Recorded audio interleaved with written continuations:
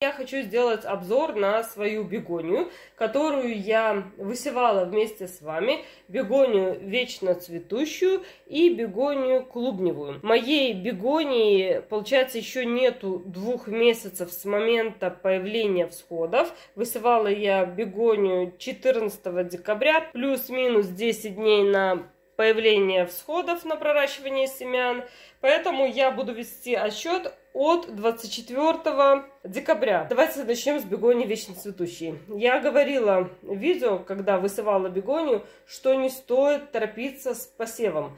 Дело в том, что бегония вечно цветущая довольно-таки быстро развивается. Вот она, бегония вечно цветущая. И я уже ее успела за два месяца распикировать. Есть видео и уже успела буквально два дня назад ее пересадить в объем побольше, так как в стаканчиках, в которых находилась моя бегония вечно цветущая, ей было тесно. Грунт быстро пересыхал, питания, возможно, еще хватало, но грунт быстро пересыхал в объеме 0,2. Почему э, плохо совершать такие ранние посевы? Дело в том, что бегония к моменту высадки в открытый грунт, например, я хотела и хочу высадить свою бегонию вечно цветущую в открытый грунт, она перерастет, если будет поздняя весна. Если же весна будет ранней, меня это, так сказать, я думаю, и многих спасет. Напомню вам, что бегония новая для меня, Benaриенsis Big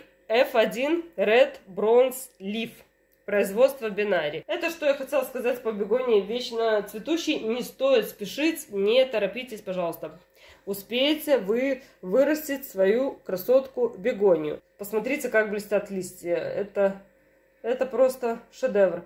Итак, я подкармливала свою бегонию после появления первой пары настоящих листочков кальциевой селитрой. 1-2 грамма на литр воды без хлора и подкармливала всего лишь один раз кристаллоном зеленым, специальной особый, один раз уменьшив концентрацию в 2-3 раза. Больше, на мой взгляд, бегонии подкормки пока еще не нужны, тем более я ее пересадила в свежий грунт, свежий питательный грунт, поэтому подкармливать свою бегонию в ближайший месяц, как минимум, я ничем не буду. Не хочу провоцировать ее активный рост.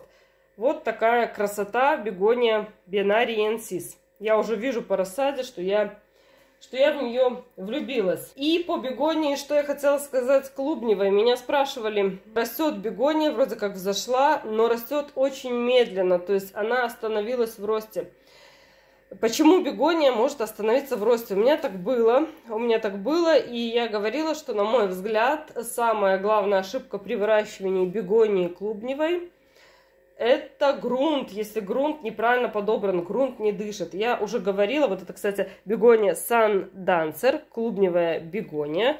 Посмотрите, как она себя тоже неплохо, на мой взгляд, чувствует. Это бегония белая, white. Она, кстати, отличается от желтой. Вот видите, совершенно разные листочки. У желтой бегонии они такие более темные и имеют уже, видите, совершенно другую форму листа. Так, я опять отвлеклась. Я говорила о том, что высевала в грунт, предназначенный для бегоний. Поэтому, если, предположим, вы уже посеяли вашу бегонию в торфяные таблетки, она у вас взошла успешно и остановилась в росте, я советую аккуратненько удалить оболочку, в которой находится торфотаблетка, и максимально убрать саму торфотаблетку, освободить корни от торфяной таблетки и пересадить, например, в небольшие стаканчики, вот такие 100-граммовые стаканчики, в грунт, предназначенный покупной грунт для бегоний. Можно, как и я, дополнительно сделать вот такую воздушную подушку.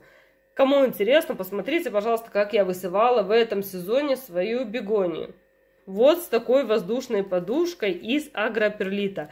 Не обязательно это может быть агроперлит, это может быть вермикулит, мелкий битый кирпич, пенопласт, все, что есть у вас под рукой, это и может, мелкие камешки, может служить дренажным слоем для вашей рассады. Есть у меня, конечно же, экземпляры и отстающие. Вот, например, как этот. Я специально его не убирала, хотела вам показать. Но с этим экземпляром, сейчас я отсниму это видео, я попрощаюсь. Что пошло не так именно у этого растеница? Оно находилось под листочком более сильного растения. Когда рассада находилась в общем контейнере, когда появились сходы, более сильное взошло и как парус накрывало вот таким образом, как парус прикрывало более слабый росточек. Не хватило ему в свое время, не хватило ему освещения. Вот такие мои наблюдения. Самое главное, чтобы грунт дышал. Ни в коем случае не перекармливать. Подкармливается только удобрением, предназначенным для рассады. В хелатной форме. То есть в доступной форме для растений. Вот мошка летает. Кстати, вот еще одна причина, почему ваша рассада бегонии может тормозить в своем развитии, это грибные комарики. Вот эти черные мошки, они подгрызают э, корень растения. Я читала информацию, что личинка грибного комарика, если хватает ей органики в кашпо, она не будет трогать корни. Ничего подобного. В первую очередь личинка грибного комарика будет поедать корень. И даже не корень, а еще листочки. У меня у эустомы погрызенные листочки. Сейчас я вам даже покажу это, продемонстрирую. Вот она, эустома. Все как будто бы ничего. Кстати, эустому я высевала 10 декабря. Обязательно тоже сниму про нее видео. Видите, я уже пересадила в стаканчики 200 мл. Так вот, нижний листочек, он он объеден, он объеден именно личинкой грибного комарика. Это проделка грибного, личинки грибного комарика. Вот такие объеденные, надгрызенные листья. Если личинка грибного комарика так охотно поедает листья, то представьте, как она охотно поедает корни. Конечно, если у нас хорошо развита корневая система, она опускается все ниже и ниже, грибной комарик до нее не доберется. Но верхний слой, около 2 сантиметров, это вкусняшка для личинки грибного комарика. А самое вкусное это само растение. И еще меня спрашивали по поводу того, как я укореняю бегонию. Кстати, бегонию клубневую я сохранила с того сезона.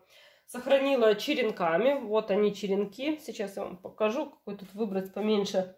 Вот он, черенок клубневой бегонии. Сохраняла я ее осенью, занесла в дом. Всю свою бегонию я укореняю только в воде. Мне не нравится укоренять, например, в агроперлите.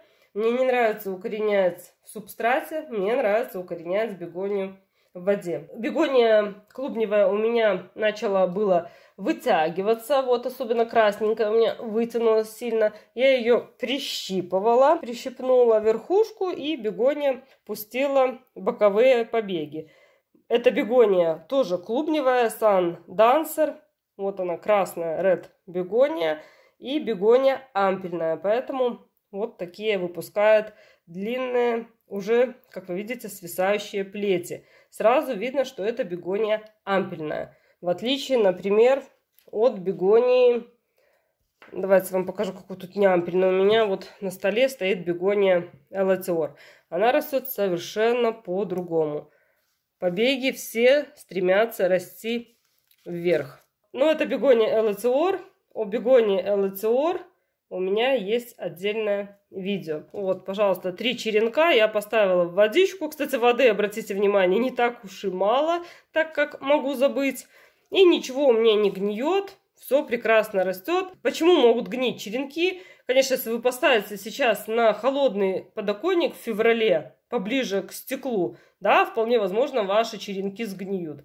Мои черенки находятся на стеллаже, либо на столе напротив окна. Самое главное, чтобы не попадали, конечно же, прямые солнечные лучи. Самое главное подобрать правильный грунт для бегонии, а лучше всего не заморачиваться и купить грунт для бегонии. Не перекармливать, не переувлажнять, ни в коем случае бегония этого не любит. Бороться с насекомыми, особенно такими, как грибной комарик, я борюсь с помощью актары, проливаю каждый месяц грунт. Ну вот она летает, одна гадость, и что с ней делать? Проливаю обязательно грунт раз в месяц актарой на кончике ножа на 1 литр воды, опять-таки без хлора, и проливаю под корень.